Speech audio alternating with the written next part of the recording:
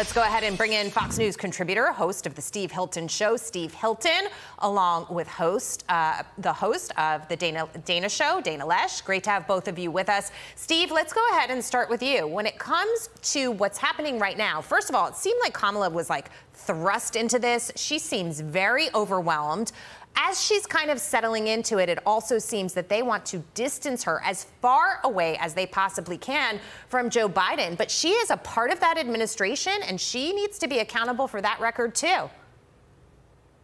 Of course, and she she's the one that's going on about being a prosecutor. I want to have I've got something to say about that as well and her record here in California.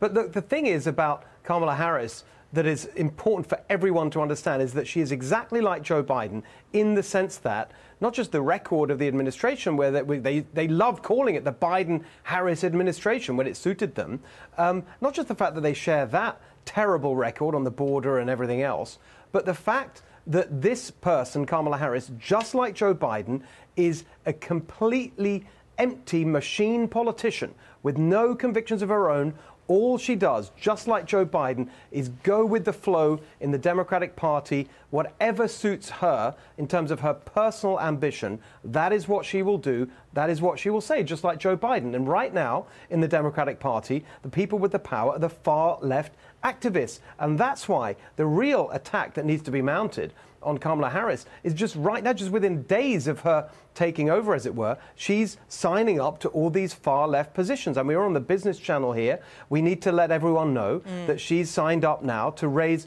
corporate taxes to 35%. I mean, on and on. She is a far left candidate. And back in California, she is associated with one of the worst things that has led to all the scenes of crime and chaos and homelessness and drug addiction on the streets of California. Yeah. Proposition 47, passed when she was Attorney General. She pushed it through. That is her record as well. She is California Kamala. That's what we need to make clear. And Dana, it feels like yes, all those Biden failures have her uh, her, her fingerprints, excuse me, all over them as well. But to Steve's point, it's like Biden but worse. It's Biden but further left. Mm. She was tugging Biden that direction, as were other people in that White House. If it's just her unshackled, I mean, look at what she embraced when she ran for president unsuccessfully in 2019. Hard, hard left stuff. I think this is a really good point, Guy. And, you know, she was absent presiding over the Senate when Netanyahu spoke today as well, which further showcases just how far left the party has shifted. And it's important because this is really kind of a passing of the torch for the Democrat Party. I mean, I think Biden maybe if it was a really bad remnant, but he nonetheless, he was a remnant of some of the at least old school, optically old school policies that the Democrats held. But with Kamala Harris, I mean, it, this is the squads party now. This is the Bernie Sanders party. This is the very far left, high corporate tax rate, bad energy policy, bad foreign policy, Democrat party that's wildly different from the one that used to at least be somewhat successful at attracting moderates even six years ago.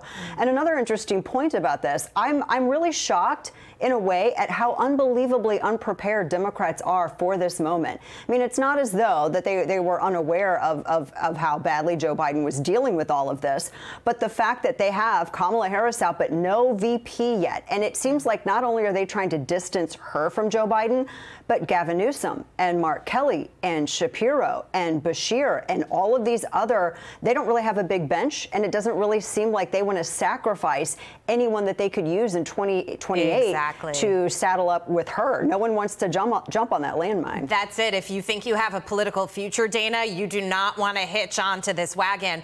But while I have both of you, let's move to this because it was just last week that Joe Biden and Kamala Harris called to unify the country, tone down the hateful rhetoric around politicians, and they're already at it again. Kamala Harris releasing an ad calling Trump an existential threat again, and her words do have an impact as we have seen. Let's watch. You know, it's interesting. I never took it seriously until now because people believe things when they hear it over and over. Biden gets up. He can't uh, read two sentences. He can't put two sentences together. Trump is a threat to democracy. He's a th- he doesn't even know what the hell he's saying. He couldn't even define the word democracy. Steve, your reaction. That's exactly right. I mean, it's, it's laughable because it's so ridiculous. It reminds me of one of the, the most insane things I've heard in a, amongst a lot of insanity over the last few years. Liz Cheney, right? Liz Cheney, who, whatever you think of her, she's not a stupid person, right? I saw her on, I think it was Meet the Press or one of these shows, saying that if Trump is re elected, um, it could be the last free elections in America.